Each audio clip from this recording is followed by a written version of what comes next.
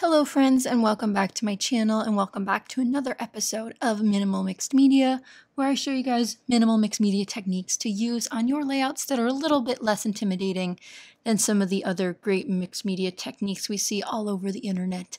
But today I'm using my How to Kill a Kit with Style for the month of October and this beautiful floral paper which is from DCWV and as I showed you in that close-up I'm using my Dylusions white paint and a one inch flat brush and drawing circles. Now you will see these are a little wonky at first, but I do try to round them out a bit more.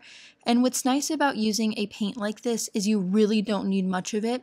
When you're working with wet mediums, you want to make sure that you're letting the layers dry. If you want more layers, you can add more, but if you add too much wet, it will warp your paper. So here you can see four little wonky circles and it's done after it dried overnight, so I'm working on this the next day. I have my photo out of my lovely cat Ted cuddling my lap, and I just knew this color scheme would work really, really well with what I had in my kit because of all the grays and yellows from the papers I pulled out as well as the embellishments I found. And I used a majority of this color scheme right here on this layout that was included in my kit.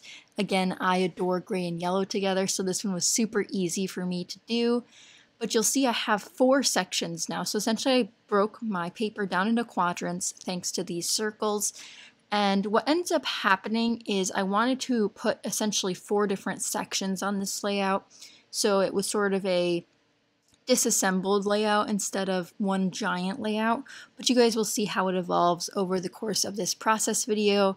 I go through tons and tons of the embellishments in my kit, but I am going to pull out a ton of these Simple Stories cat stickers, and I use all of the ones I pulled out because, again, I adore this color scheme, and thanks to the sticker sheet is where I end up pulling in another color which would be this light teal color, which I think works super duper well in the end. Um, but I would have just stuck with sort of monochromatic yellow and then black, gray, and white tones. If I could do that all the time, I would do monochromatic, but I'm really into the dual colored layouts lately. I think it adds a lot of pop of color while also having all of that neutrals with the grays and the blacks and the whites. But here I'm going to start layering behind my photo but first I want to write down the date. Now I'm pretty sure I actually wrote down the wrong date for this. I wrote down the 2019 date instead of the 2018 date, but I'm pretty sure it was the 2018 date when this was taken. So that's okay though. I'll have to fix it and look at the date later on my computer. But I'm going to start with that yellow paper, which is from the same DCWV Honey Deer collection. And then I mount it on this paper from Maggie Holmes Carousel, which is the zebra unicorn, whatever they might be. I think they're zebras. And I use that as a pop of teal, which I want to incorporate throughout the layout, even though I just have it pulled out in the stickers right now. So these three-dimensional stickers I'd pulled out from the beginning are all from Michaels. It was an old collection they did. It was all this yellow, gray, black um, embellishments. We had tags, we had die cuts, we had these 3D stickers, and I really like them and this is the last that I have of that collection so I definitely tried to use up a ton of it on this layout. Now before I try to glue anything down embellishment or photo wise I end up trimming half an inch off of my lovely paper here that I did mixed media on and I'm going to mat it on black cardstock. One, this will help with the warping from the mixed media, and two, it'll help add a little bit more contrast and finality to the edges of this layout. And I really love using black cardstock in this specific way. I think it provides additional contrast. It provides so much by just a simple layer of framing the border. So here I start building out this newly sort of double cluster at the bottom. Originally I wanted each piece to stay in their own quadrant, but the bottom ends up morphing into a double, into a single, even though you can still tell the painted circles are back there. I think it still works really, really well. And I have a Heidi Swapp journaling spot off to the left hand side that says remember. And so far I've paired that with a Doodlebug doily. And now I want to cut this tag in half and sort of add another layer under it. This is definitely one of those all of the things layouts, a maximalist style with so many different types of embellishments. And I think when you have a sort of broken up layout like this, whether it be a pocket page or like a four quadrant like this one is, or a grid, you can really pack on the embellishments because you're sectioning it off. So everything still has a little bit of breathing room. And I end up putting the title over on the bottom right on top of a tag and then pairing that with some of the label stickers that came out of the Cat Simple Story sticker set. And here I have this label from Heidi Swapp, or tab rather, that I end up putting a little phrase sticker on from that cat set again. And I just, oh, it's so cute. That pop of blue with the yellow just works so well. And I really didn't expect it to, but I really like how it turned out. And as for this top cluster, I end up pulling in that vertical banner from the We Are Memory Keepers typecast collection, and then pairing that with the three-dimensional pieces from Michaels, and then pulling in a ton of the cat stickers, including that little cat holding a ball of yarn, which is beyond precious. But I definitely think that this layout wouldn't have come together so easily if I didn't have as many layering pieces, and I talk about this a ton over on my Patreon and my real-time process videos, but I really adore tags and doilies and larger ephemera pieces as great base pieces to start clusters. And when you have free floating clusters like I do in the top left and top right, you definitely need something solid behind it. And luckily I'm able to do that with all of the pieces in my kit. So while I am building this cluster in the bottom left, I include doily, I have the tag, I have the large journaling card piece. It all just really helps substantiate the element as one, especially when you start layering it in a way that gives you continuality behind the pieces. So it looks like a really long tag behind there when reality it's just half of one on each side. And you will notice I am putting different types of twine on this layout. I thought it'd be fun to do some different types. So I put the teal one on the left tag, and then I'm going to use the black and white twine in a bow on the right hand side here.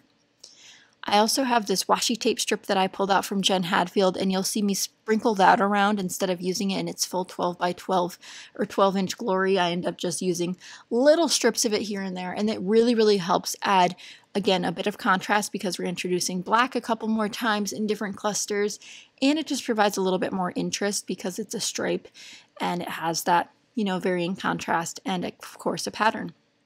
Here's where I take that Pink Fresh Studio leatherette cardstock sticker and I put it under the left hand side of that journaling spot. And what's nice about that is it's on a little bit of foam, which just adds a little bit more texture and dimension to this layout.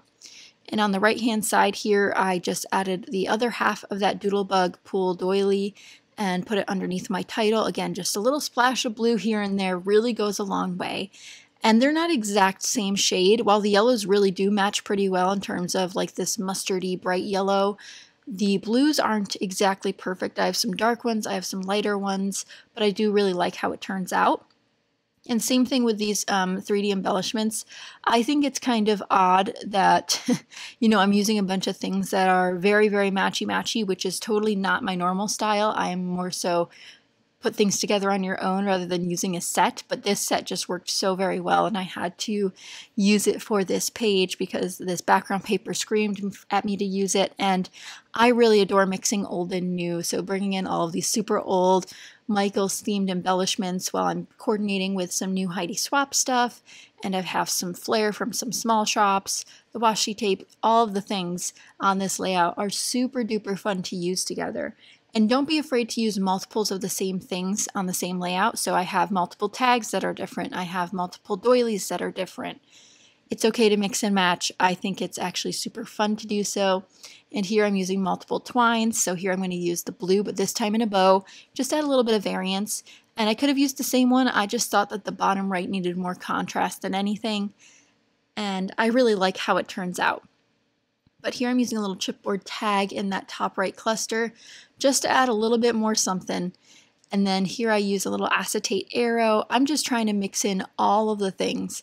And what's really fun about a simple color scheme like this is it's super easy to find additional things to mix in because I can use anything that's black, white, gray, yellow, and teal, this lighter teal color, and it'll go flawlessly. So it was easy to use cat themed products, it was easy to use love themed products, and my title and embellishments all coordinate because they're from the same set.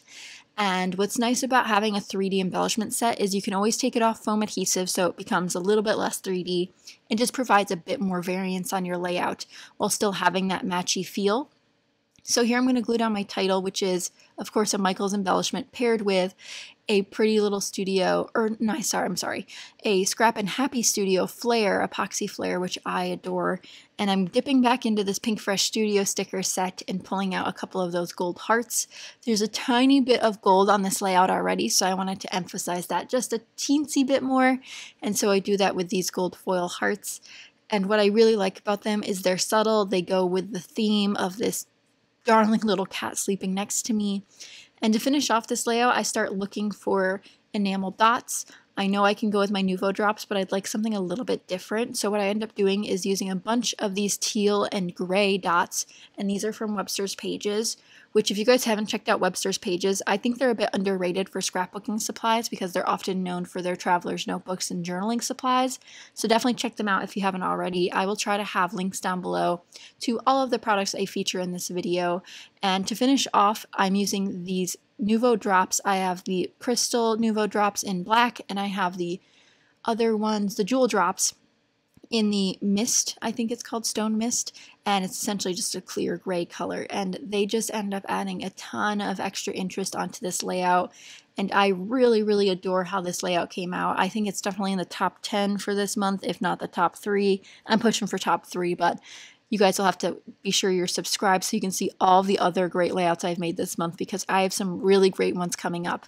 But let me know what you guys think of this technique. Just a simple brush stroke in these circular patterns can really help break out a layout and make it feel a little bit less blocked and a little bit less modular in looks, but I do hope you guys enjoyed all of these clusters and all of these tips I've shared along the way. Be sure to check out the playlist down below so you guys can check out the rest of my How to Kill a Kit with Style layouts as well as the other minimal mixed media layouts if you've missed out on any. But thank you so, so much for watching. Let me know what your favorite part of this layout is, which cluster you liked, if you like the color scheme, if you like the cute photo of Ted. I would love to know in the comments down below.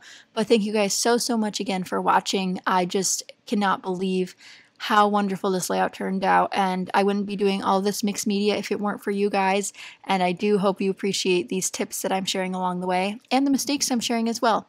But thanks for watching guys and I'll see you guys in the next one. Bye guys!